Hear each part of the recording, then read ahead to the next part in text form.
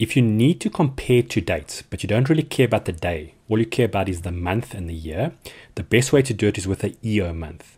So here we've got a whole bunch of payment dates, but you can see they happen during the month. And we've put the dates here, but we've always done the first. So instead of using a complex AND, what we can do, use the function wizard just to build the if function.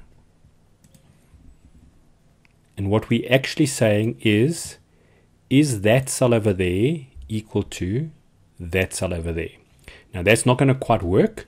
So the first thing I'm going to do is just put dollar sign. So here I need the 3 to stay the same because we're going to copy it across.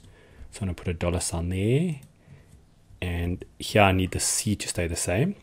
Now that's fine, but it's never going to work. 1st of May might work, but the 16th of May won't notice. So what we're going to do is we're going to wrap the EOMONTH function around it. So the way EOMONTH works is it says point at a cell and I'm going to put comma zero. So what I'm telling it is give me the date of the end of that month. So again, comma zero. What must happen if it's true? Well, if it's true, take those fees. I just need to do dollar sign. So I'm going to put a dollar sign on the B. If it's false, put a zero. So when I say OK, so that one correctly says 0. And you'll see it's correctly identified 1st of May, 1st of May. So that one we could have got without the EOMONTH. But notice here, 16th of May is attached to the 1st of May. Just to show you why it works, the EOMONTH function,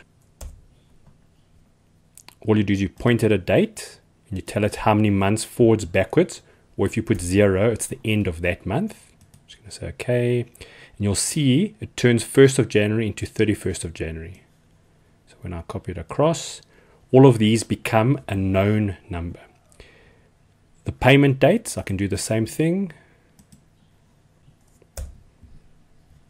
So look at that date and zero.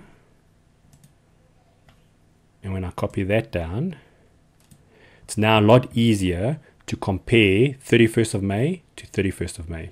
And in this formula, we just did it in one go.